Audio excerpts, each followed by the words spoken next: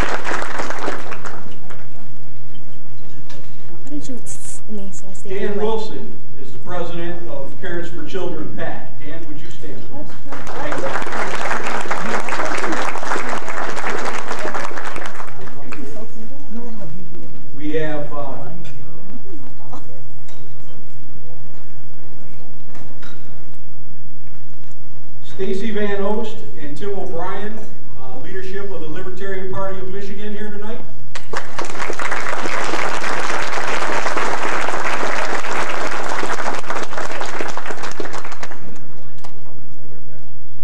Mike Reddick of uh, Michigan Gun Owners.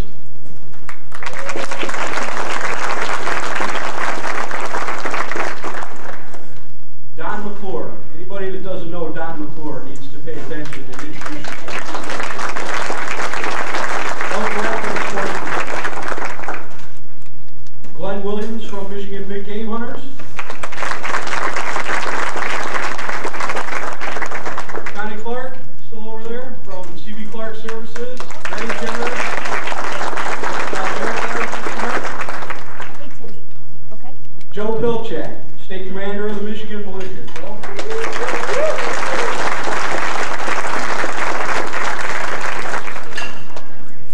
Jess Church is the uh, Brass Roots Downriver Chapter Director. Jess?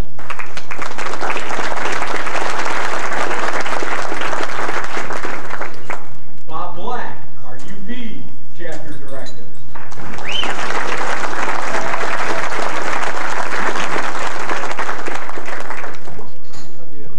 Gail Hicks from Senator Dave Jaye's office.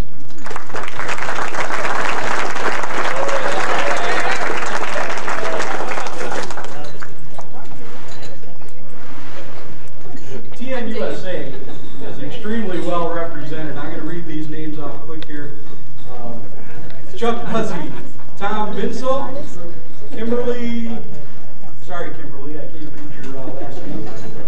Lennox and Sherry Bowman, Lewis Crick, and Larry and Kim Christodero. Very good. Um,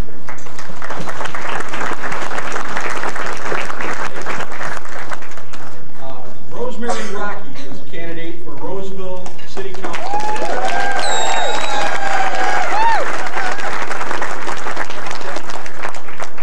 And she's very popular. Um, I'd like to invite Chuck Buzzy to come up. I understand he has a statement for Mr. Nugent.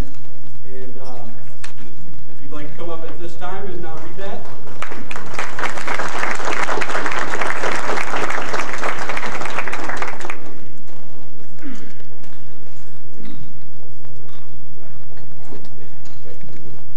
Real good. Nothing like being the first one up, right? Well, good evening. I'm glad to see everybody made it down tonight.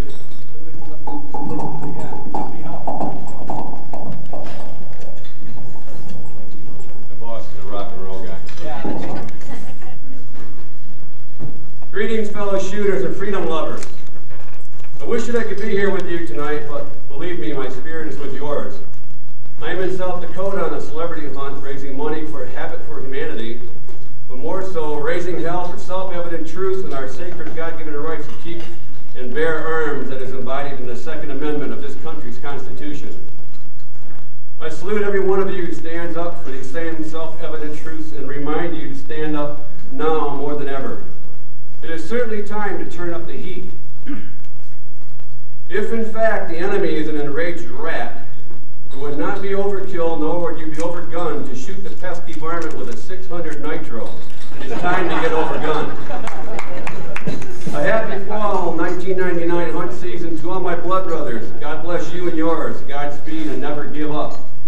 Keeping the spirit of the wild strong and free, yours an absolute American spirit, Ted Nugent and the Ted Nugent United Sportsmen of America.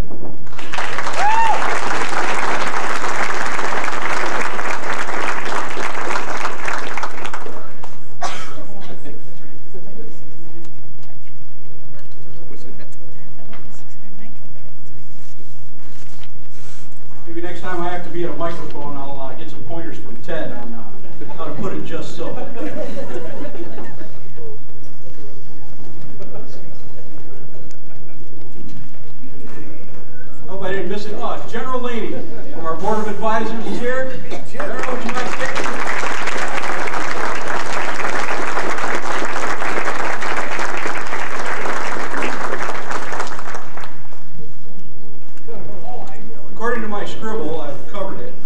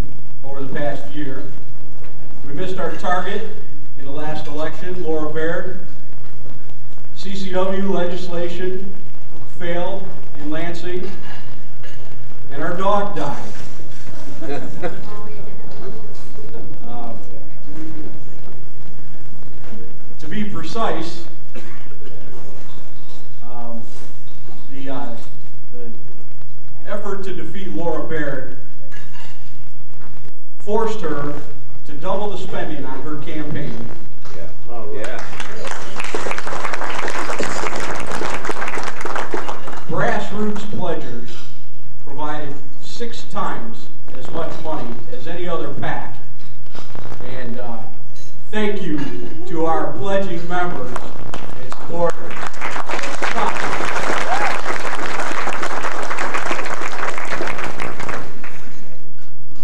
I'll uh, cover the CCW uh, briefly uh, at the end. Um, Brutus, Canine American, our Doberman Pinscher mascot, was uh, pretty much incapacitated um, over the course of the year and was put down uh, this summer. We had a picnic in his honor, seemed to have a really great time. But uh, it will be very missed. We uh, started the year off with a book sponsor program. Uh, most of you are probably familiar with John Lott's More Guns, Less Crime.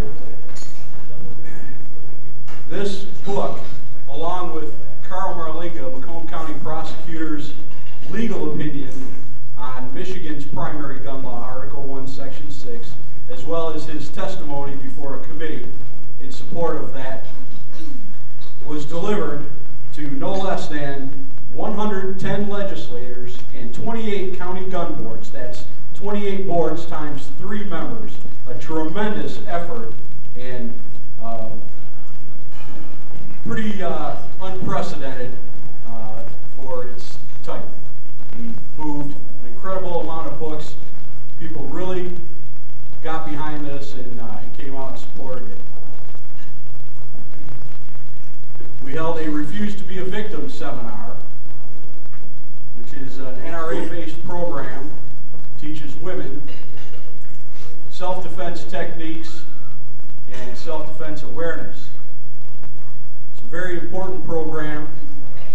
Uh, the headlines today about uh, girls being raped on the way home from school, people being abducted and uh, kidnapped and such could never be a better time than nowadays uh, to have such a program. We went on to uh, an education event dealing with how the Second Amendment is treated in our public schools. We called that Why Johnny Can't Read the Truth About Guns. It was another uh, terrific program. It was uh, very timely, and hopefully, you know, we uh, enlightened a lot of people uh, to exactly what's going on in our public schools atrocity of uh, the way they uh, brush over the Second Amendment. From there, the uh, CCW legislation in Lansing was really starting to heat up, and Brass Roots was on top of it again. We held a series of informational meetings. Utica, Grand Rapids, Southfield, Oxford, Taylor, Lapeer, Grayling, Morris, Lincoln Park, all had Brass Roots representatives there to inform people of the details of this legislation, provide them with information that they could take with them and tell their friends and families about, explaining what was really going on there. Another um, terrific effort. Uh, nobody puts it together the way we do and presents it and gets it into people's hands like Brass Roots.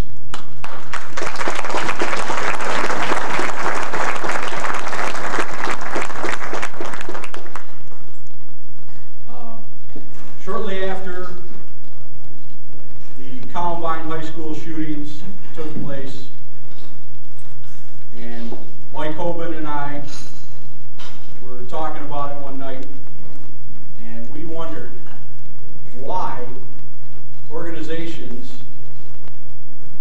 were seeming to back down from self-defense issues. And we decided that if others were going to back away, Brass Roots would step forward. We put together uh, what we called a teacher training seminar. And we invited people from across the state who are school employees at any level to attend. We had school board members there, there, substitute teachers there, we had a custodian there, uh, ran the gamut of school employees, taught them all uh, handgun safety training, and uh, prepared them for uh, receiving a CCW permit if they chose to apply and could possibly be granted one. Currently, we're working on um, turning the Oakland County and St. Clair County gun boards. The uh, Port Huron chapter has uh, been in the face of the St. Clair County Gun Board with limited success. They've got a tough fight on their hands, but uh, they're tough people. Um, in Oakland County, uh, they greet us with a smile and a handshake and say, uh, sorry, you know, we pretty much uh, happy with our rules here. Point, I met with uh, Oakland County Prosecutor David Gorcyca, and he has agreed to at least put that county's gun board policy in writing. At the point that we receive something in writing, you know, now we've got uh, the next step in our argument with them. We launched a downriver chapter. Jess Church is headed up, as I mentioned earlier, and he needs some support. Mainly, he needs uh, people that are dedicated enough uh, to join his board of directors and really uh, launch that chapter properly and uh, get it taken off. If uh, you or anyone you know uh, would be, even be curious about it, please see one of the Brassers board and look for uh, Jess Church afterwards, and uh, let's start talking. The Port Huron chapter has just initiated a very successful ad campaign that we uh, we put together a series of ads about the way the United Nations is treating our gun rights. The big poster board on the table in the back there is uh, a sample of that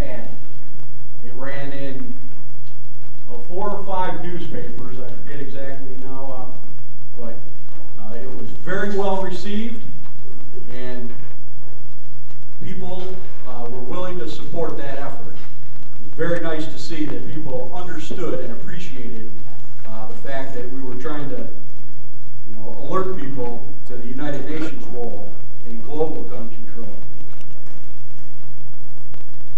The UP chapter of Brass Roots sets the standard across the state way that is still almost unimaginable to me. Please show your enthusiasm for the group that turned six county gun boards to issuing general permits in the Upper Peninsula.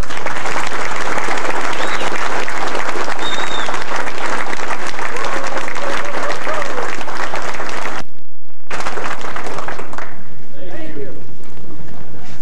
UP Brass Roots is on fire. They inspire the rest of us to what is possible, and uh, they're, they're leading the way.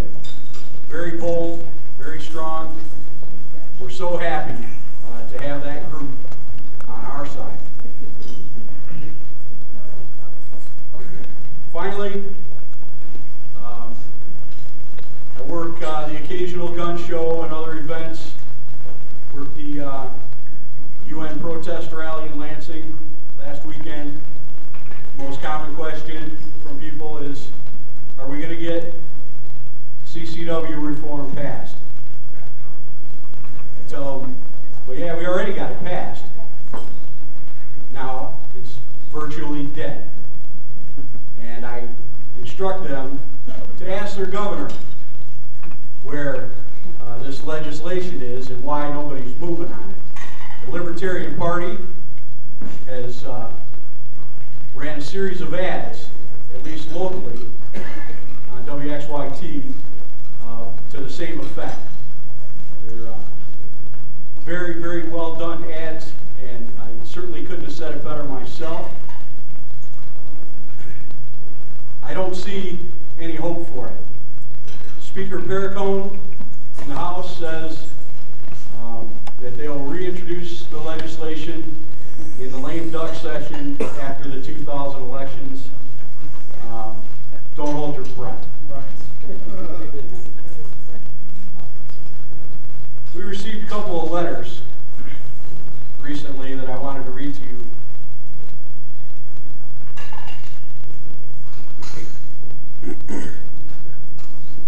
Kevin Church writes, Dear Sirs, I saw your ad in the Lansing State Journal and just couldn't resist the opportunity to voice my opinion. You stated in the final paragraph of the ad that your intent is to defeat, quote, anti-gun politicians in the state of Michigan.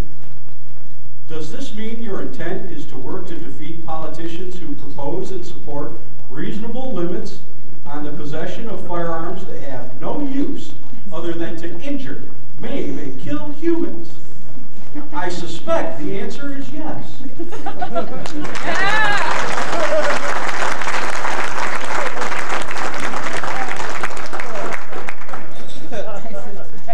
I want you to know I'm personally offended that he only suspects.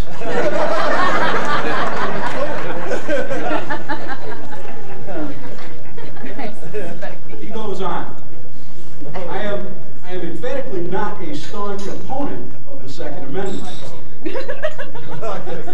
can imagine, right? Responsible gun collectors and hunters should be free to enjoy their hobbies, just as coin collectors and mushroom hunters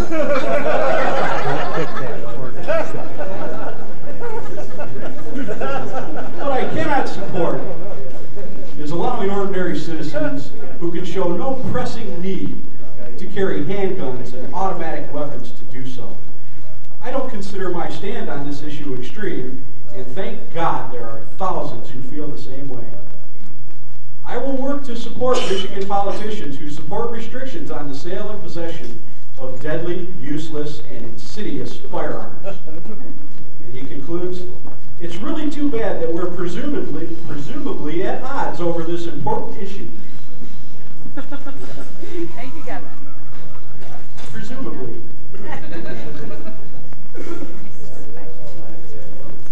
On the other hand, Sally A. Landerville of Mason, Michigan, wrote us, Gentlemen, I am a 73-year-old widow of two World War II veterans, and I am a member of the DAR, Daughters of the American Revolution.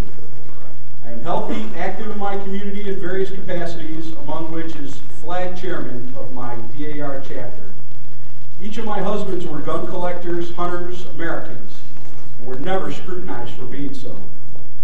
Both England and Canada have established radical gun laws and confiscation of all guns. Their governments and their governments and ours are attempting to coerce the American people to follow suit. The only way we can avoid this is to fight back never stop fighting for our right to bear arms. I am well aware of the political diversities present in the United Nations. However, we must stand firm in our support of the Constitution. We as a nation are the strength of the world at this point. We cannot be shaken from our principles or swayed by the dictators, tyrants, monarchs, and socialists of the world. We must not allow them to influence our beliefs. I am totally devoted to the preservation of life, liberty, and the pursuit of happiness as devised by our forefathers. I am devoted to the preservation of our Constitution as it stands. Sincerely, Sally Landerville. House President.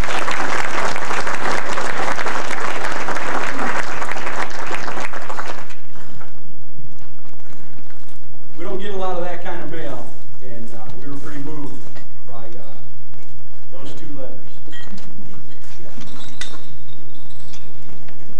At this point, I'd to introduce our executive director, Mike Hoban. When I was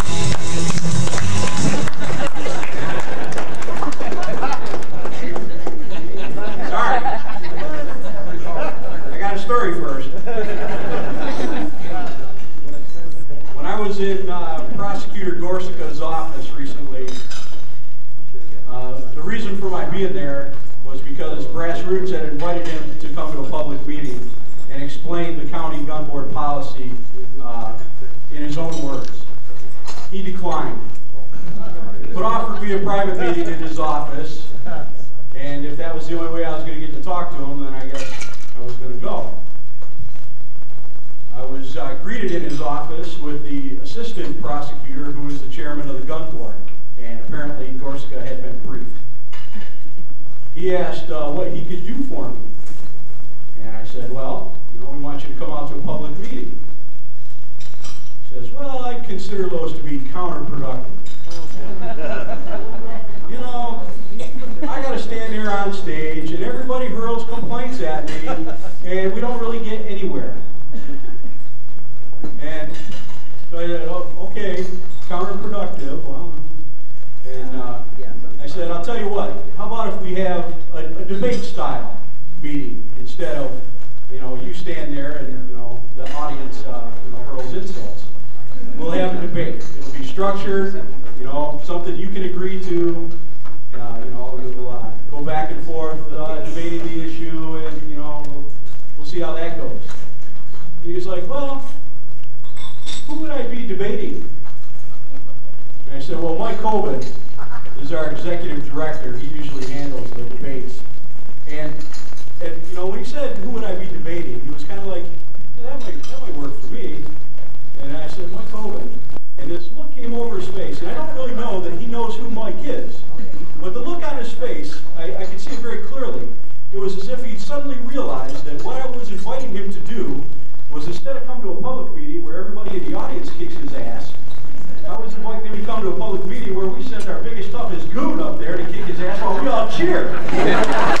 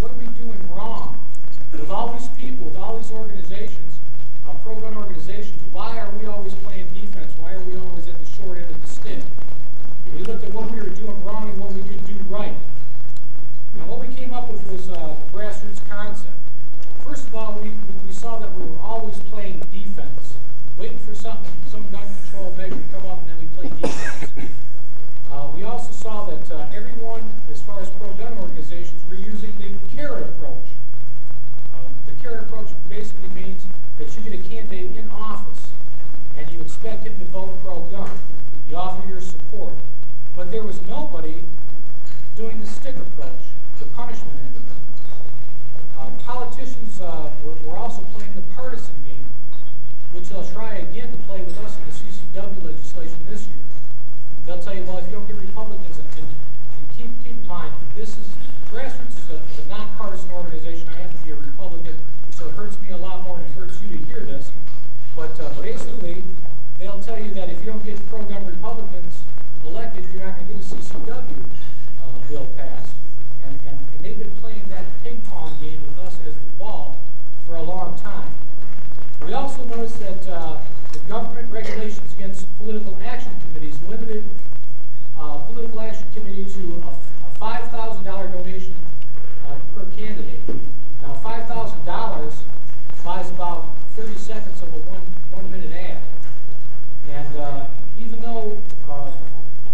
organizations like the National Rifle Association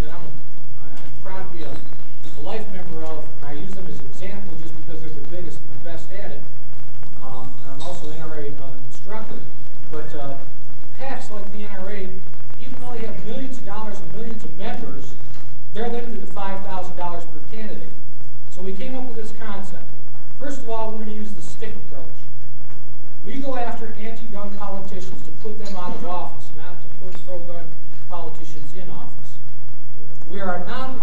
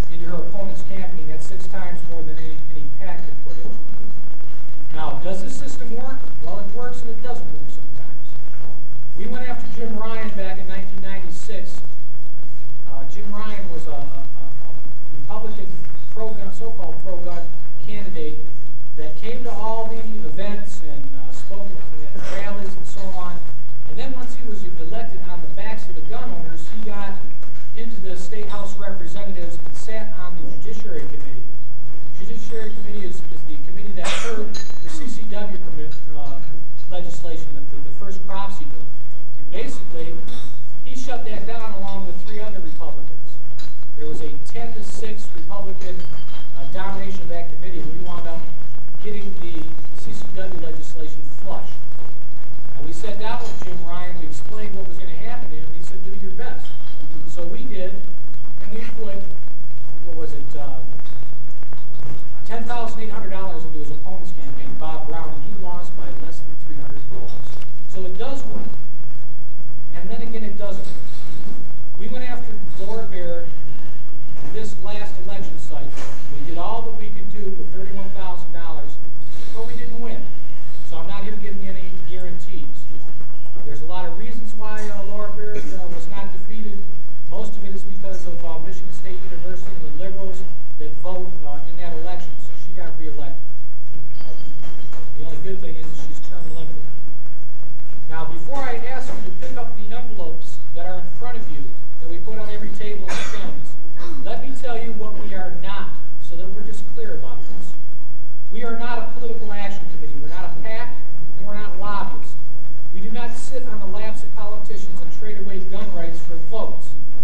Not an organization that asks you to send your money in and we'll take care of things. We ask you not only to send your money in, but also give your participation as much as you can. So that is one of the things that we are not.